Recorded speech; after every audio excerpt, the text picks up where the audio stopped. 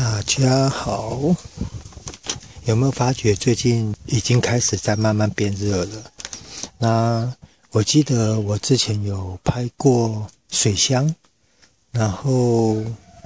水箱盖，再加上现在越来越多的摩托车，基本上汽车除了一些。老车，或者说现在保时捷都全部都搭载水冷或油冷了，所以，嗯，应该我觉得水箱是水冷这种东西啦，应该是越来越普遍的。那再加上刚刚我讲的水箱、水箱盖，然后他们的一些工作原理，我大概都有说过了，所以今天我们来聊一聊这个。这个叫水龟，呃，一般来说，不好意思，一般来说，你只要顺着上水管下去找，一般都会找到它。像我的就装在那边，就上水管，你就顺着上水管找。一般啊，一般车型的话，你顺着上水管找，都可以找，都就找得到水龟的位置。好。那水龟基本上，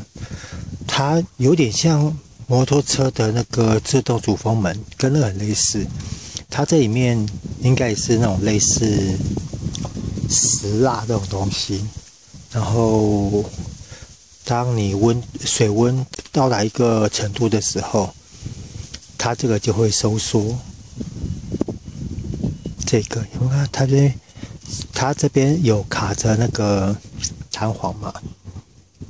但是当你温度到的时候，里面里面的石蜡它会膨胀，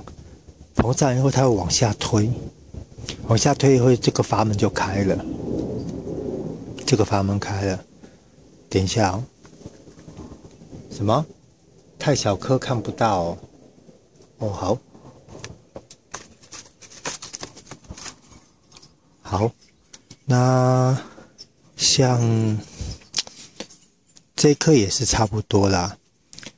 这个里面这个也是算石蜡的这个东西，但是基本上我没记错的话啦，它大概里面都是有点类似，就是会受热膨胀的那种东西，可能后面也可能有改变了或什么，但是。最早期的时候，它这个里面是应该是灌石蜡，我没记错的话是。然后当它受热的时候，它会膨胀，它里面膨胀以后就会往下推，这个阀门就会往下推，然后水道就开了。因为水道是这样子嘛，它是呃水管是这样子，水道是这样子，这个这边封闭住。然后这边封闭住，所以当石蜡膨胀以后，它会往下推，让这个阀门开启，这边就有缝，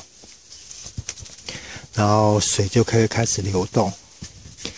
基本上，一般来说，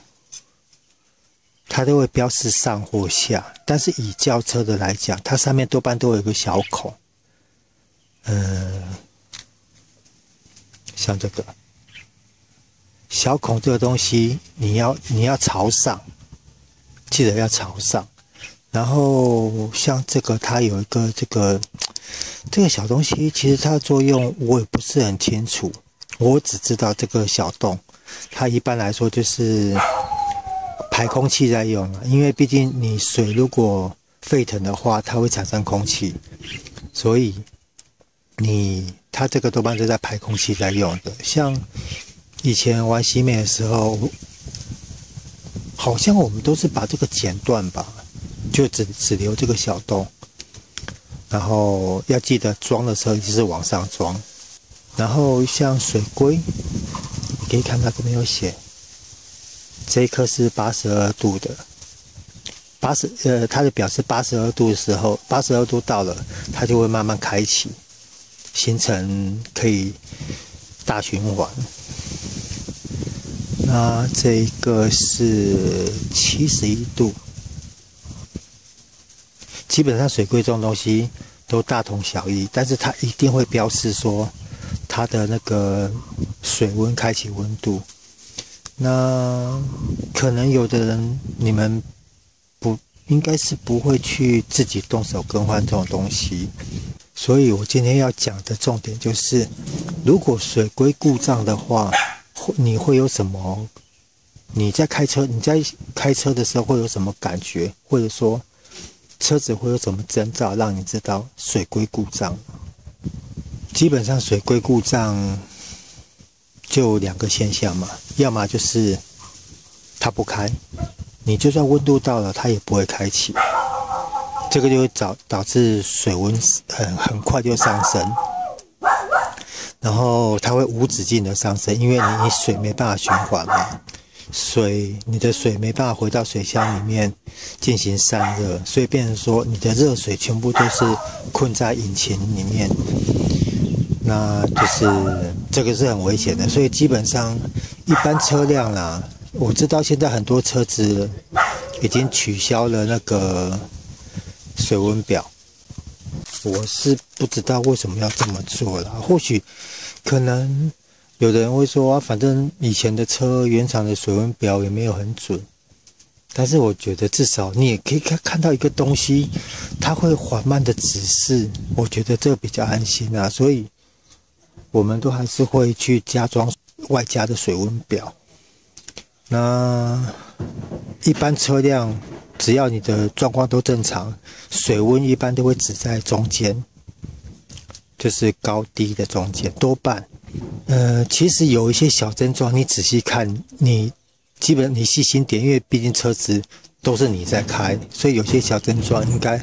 很容易的，就你只要细心点，很容易就会发觉。譬如说，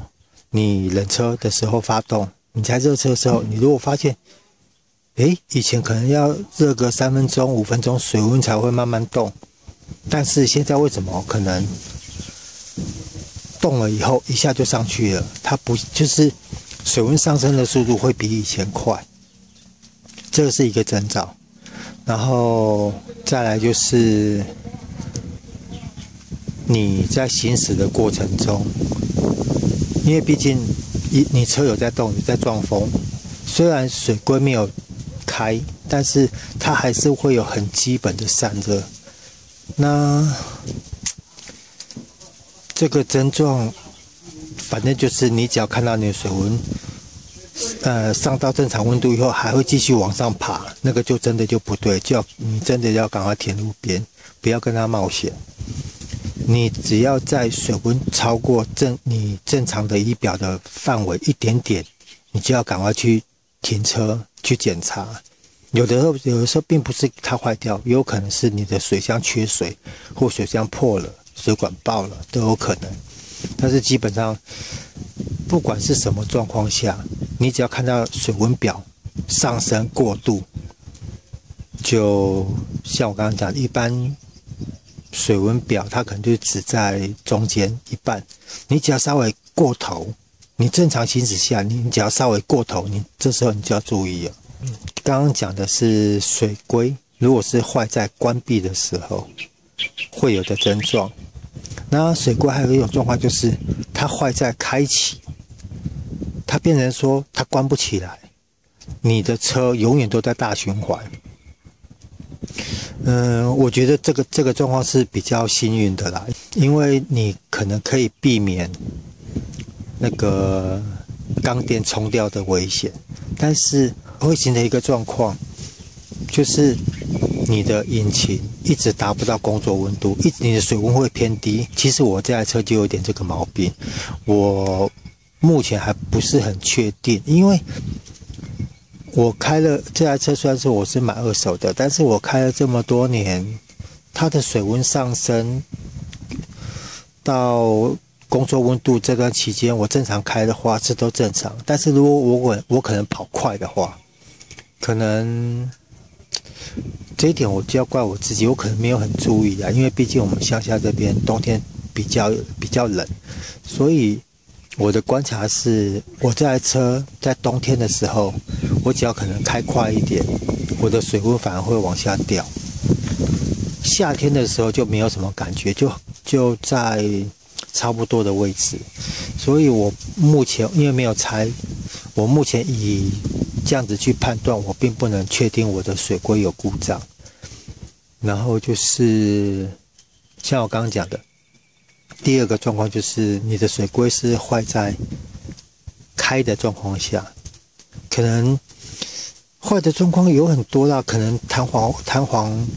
断了或干什么都有可能，或者石石蜡中间这个芯卡死在那边有可能，它就变你这个就变成说你的这个水道永远都是开启的。像我刚刚讲，就是可能你的热车会变得很慢，因为你一直在大循环，因为水龟一直在打嘛，所以你的可能你的。热车的速度会变得慢，水温上来的很慢，然后你在行驶的过程中，可能你只要开快一点，水温表反而会往下掉。这个都是都是有可能是水龟坏，水龟坏在开启的时候。那这个的坏处就是可能你的车子一直达不到工作温度，然后。可能会造成油耗偏高，或者说，呃，一些引擎数据不正常都有可能。这我我不是很确定，因为电电脑车它一直会修正嘛。可能你如果水温上不去，它可能油会喷多一点，都有可能。那水龟。还是我还是觉得，就像刚刚讲的，如果是坏在开启的时候，真的算运气很好。然后不管是坏在开启或关闭，当你的车子你觉得你的车有上述症状出现的时候，这个时候真的就要很小心，尤其是坏在关的时候，你一不小心，你可能整个缸垫冲掉，可能缩缸。然后都有可能，反正就是把你把丢在路边了。那水箱冷却系统上的话，除了水泵浦我还没有讲。水泵浦的话很简单，它就是可能皮带或者是链条都有可能带动，你只要车一发动，它就会一直循环，它就会带动它。我记我记得水龟座它会有一个旁通旁通水道，一个小水道在旁边，所以如果水龟没有开启的话，它还是能够做小循环。但是当真的引擎过热的时候，小循环已经来不及的时候，你真的大循环开不起来，真的对车子是很大的伤害。嗯，好啦，因为。附附近邻居他们在施工，然后收音上可能会比较吵。那今天水龟的介绍就到这边啦，大小水龟一起跟大家说拜拜。